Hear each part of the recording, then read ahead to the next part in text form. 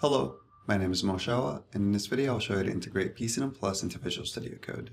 PC-lint Plus can be integrated into all the popular IDEs. This integration would allow you to experience PC-lint Plus in a way that's familiar, and allows for quick results while providing location references. This means that you can click on a message and it will take you to the location of the emission. If you still need to download PC-lint Plus, or if you still need to create a compiler configuration, feel free to check out the video down in the description that highlights our playlist. So let's get started.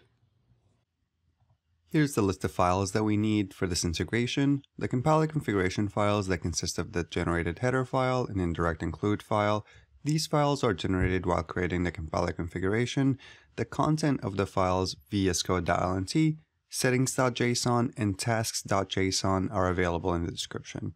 The content of the files can also be found in the reference manual included with PC-lint Plus 2.1 and later. We can start by opening vscode.lnt, adding a minus i option with the path to the configuration. In my case, this is under the D drive, under demo. Then type in the name of the configuration file. For me, this is code-gcc.lnt. Click on File, save. Since we have VS Code open, we can get started by clicking File, Preferences, User Tasks.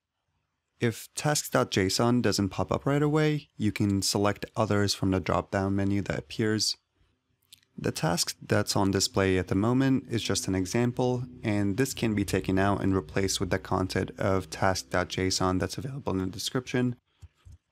Once you have added in the content, you can click on File, and save. Note that if you have other tasks that are defined, you can add PC-lint Plus as one of them since tasks are a list separated by a comma, so you can simply add a comma and then followed by the task.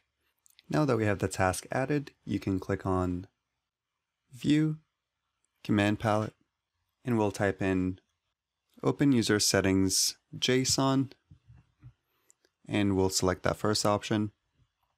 This file may or may not be empty, so you can add the additional options that we're about to include. Again, settings.json content is also included down in the description. There are a couple modifications that we need to do to this file before saving it. The first is the path to PC-lint Plus. So we can add in the path by changing this. So for me, it's under D drive demo pclp.windows.2.0 pclp pclp64.exe. Note that you do need to escape the backslashes by including an additional one before each one. So it would look something like like this. And since vscode.lnt is under d slash demo, we will change that as well.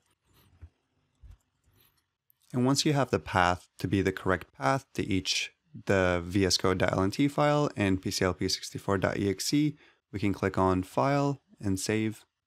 Note that we have set up PC-lint Plus now on a user level. If you wanted to set it up on a project level, you can add a .vs folder in your project and include tasks.json and settings.json within that folder. The last step is optional, but we can add a keyboard shortcut to run PC-lint Plus. To do that, we'll click on View, Command Palette, type in Open Keyboard Shortcuts, in between parentheses JSON. So here you can see I've already added the keyboard shortcut, which will allow me to click Control Shift Alt P and run PC-lint Plus. Here's an example file to test out the integration. You can run PC-lint Plus in one of two ways. First way is to click on View, Command Palette, and then type in Tasks, Run Task, select the first option. You'll see PC-lint Plus as a user-defined task. We'll analyze the current file with PC-lint Plus. Once the analysis is complete, you can click on the Problems window.